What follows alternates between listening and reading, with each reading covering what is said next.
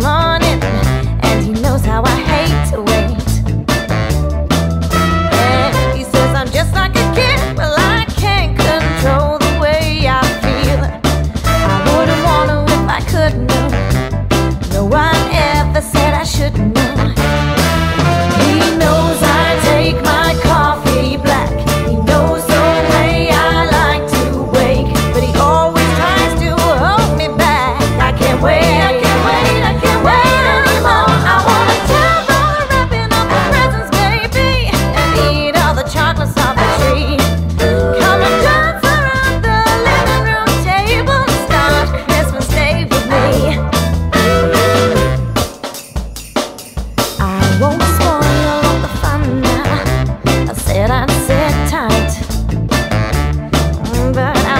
too excited. Sat in the glow of the